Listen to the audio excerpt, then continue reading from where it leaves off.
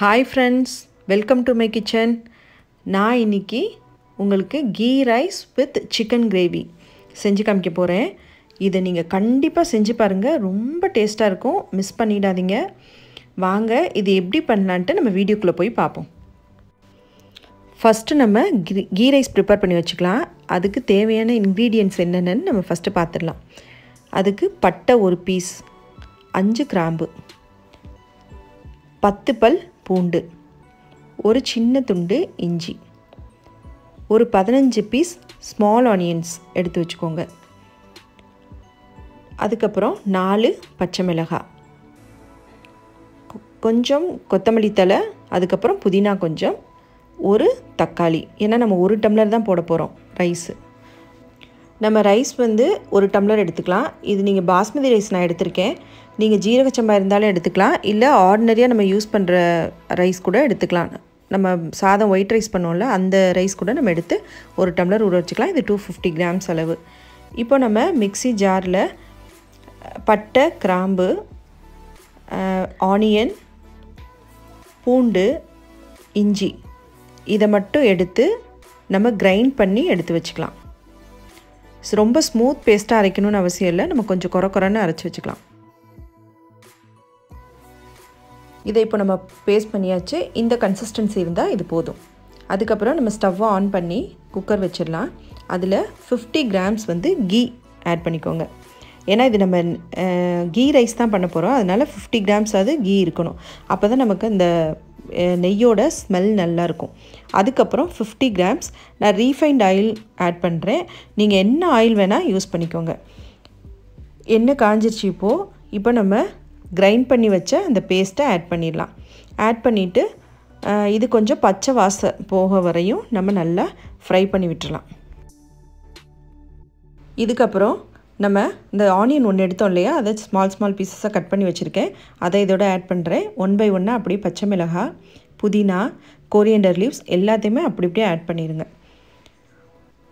Add பண்ணிவிட்டு நம்ம நல்லா எல்லாம் ஃபுல்லாக ஸ்டிர் பண்ணி விட்டுலாம் ஸ்டிர் பண்ணி விட்டுட்டு இது நல்லா மேஷ் ஆகணும்னு அவசியம் இல்லை. இந்த அளவு போதும். அதுக்கப்புறம் நான் ஒரு டம்ளர் அரிசி எடுத்திருக்கேன் இல்லையா? அதுக்கு ரெண்டு டம்ளர் தண்ணி தேவை. ஆனால் நான் ஒன்றரை டம்ளர் அரை டம்ளர் தண்ணி கம்மியாகவே வைக்கிறேன். இப்போ ஒன்றரை டம்ளர் தண்ணி ஊற்றியாச்சு அதுக்கப்புறம் நம்ம இந்த ரைஸை இதில் ஆட் பண்ணிடலாம்.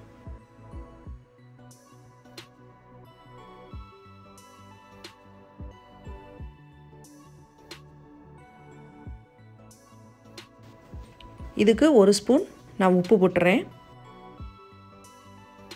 இப்போ உப்பு போட்டாச்சு.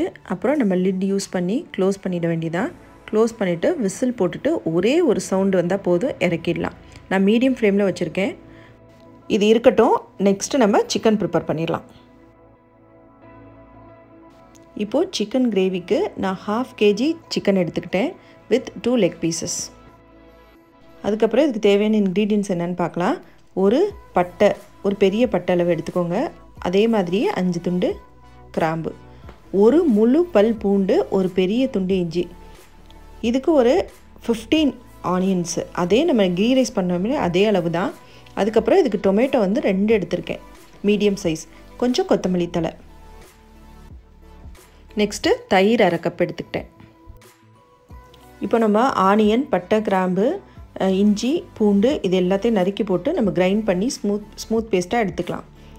இப்போ பாருங்கள் எடுத்தாச்சு. கிரைண்ட் பண்ணி எடுத்தாச்சு.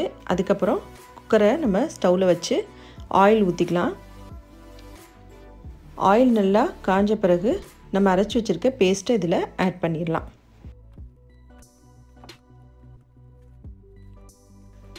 இது பச்சை வாசனை போகும் வரையும் நம்ம ஃப்ரை பண்ணிக்கலாம்.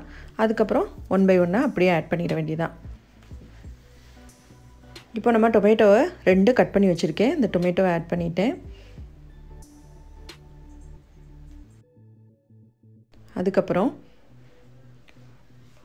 மஞ்சத்தூள் ஒரு டீஸ்பூன். மிளகாத்தூள் ஒரு டீஸ்பூன். உங்களுக்கு காரத்துக்கு ஏற்ற மாதிரி போட்டுக்கோங்க. இன்னும் கொஞ்சம் வேணால் கூட நீங்கள் ஆட் பண்ணிக்கோங்க.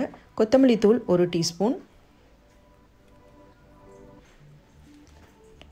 அதுக்கப்புறம் நான் சிக்கன் மசாலா ஏதாவது சிக்கன் மசாலா ஆச்சி இருந்தால் சக்தி இருந்தால் ஏதோ ஒன்று இல்லை சிக்கன் சிக்ஸ்டி ஃபைவ் மசாலா தூள் உங்கள் வீட்டில் இருந்தால் கூட அதை ஒரு டீஸ்பூன் ஆட் பண்ணிக்கோங்க.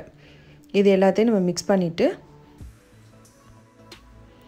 இப்போது சிக்கன் பீசஸ் எல்லாத்தையும் ஒன் பை ஒன்னாக ஆட் பண்ணிடலாம். இது எல்லாத்தையும் நல்லா அந்த மசாலாவோட கோட் ஆகிற மாதிரி எல்லாம் ஃபுல்லாக கலந்து விட்டாச்சு. இப்போது அந்த ஹாஃப் கப் தயிர் இருக்கு இல்லையா அதை இதில் ஆட் பண்ணியாச்சு. ஒரு டேபிள் ஸ்பூன் அளவு நான் இதுக்கு சால்ட் ஆட் பண்ணுறேன் எல்லாத்தையும் மிக்ஸ் பண்ணி விட்டுட்டு தண்ணி ஹாஃப் டம்ளர் ஆட் பண்ணிடலாம். அதுவே போதும் நிறைய வேண்டாம். ஏன்னா நம்ம கிரேவி தான் இதுவே செட் ஆகிக்கும் அப்புறம் லிட்டு யூஸ் பண்ணிவிட்டு விசில் போட்டுடலாம். இப்போது த்ரீ விசில்ஸ் விட்டாச்சு இறக்கியாச்சு. கிரேவி நமக்கு ரெடி ஆயிடுச்சு ஃபைனலாக கொரியண்டர் லீவ்ஸ் தூவி இதை சர்வ் பண்ணிடலாம். வாங்க இப்போ கீ ரைஸ் வித் சிக்கன் கிரேவியை நம்ம சர்வ் பண்ணிடலாம்.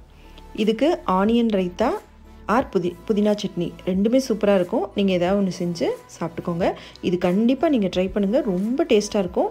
எனக்கு ட்ரை பண்ணி பார்த்து செஞ்சு பார்த்துட்டு எனக்கு கண்டிப்பாக கமெண்ட் பண்ணுங்கள் ஓகே ஃப்ரெண்ட்ஸ் இந்த டிஷ் பிடிச்சிருந்துச்சின்னா சப்ஸ்கிரைப் பண்ணுங்கள் கமெண்ட் பண்ணுங்கள் லைக் பண்ணுங்கள் உங்கள் ஃப்ரெண்ட்ஸ் எல்லாத்துக்கும் ஷேர் பண்ணுங்கள் வேறொரு வீடியோட உங்களை நான் திரும்ப மீட் பண்ணுறேன் ஓகே பாய்